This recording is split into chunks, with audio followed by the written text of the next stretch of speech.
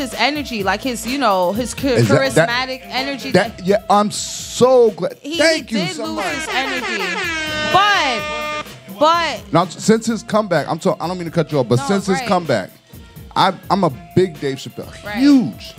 But if you watch how he used to deliver jokes and how he delivers jokes now, he's trying to be like I had to talk with um Sion about him, and she basically said like he's taking a Dick Gregory approach. Cool, I respect Dick Right. Gregory. The greatest thing about comedy is you have different sort of comedy. right. He changed his style up, and I'm not really But with it. I don't even feel like he's really taking a Dick Gregory approach like that because Dick Gregory was more of a motivational speaker. Because after he drifted from comedy, he stuck tr- truly to just freedom fighting. Right. You understand? So if, if that's what you want to do, you need to stick to that because your crowd base.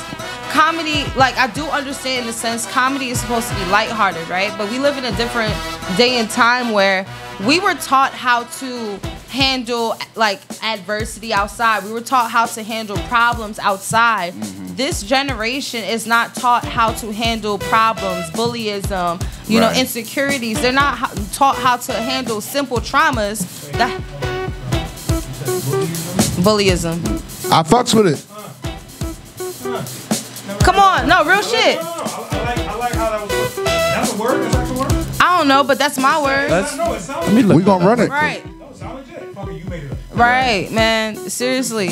Bullying mm. culture was definitely a part of our like growing up experience of black culture. You always had that one kid in school that got left back two, three times.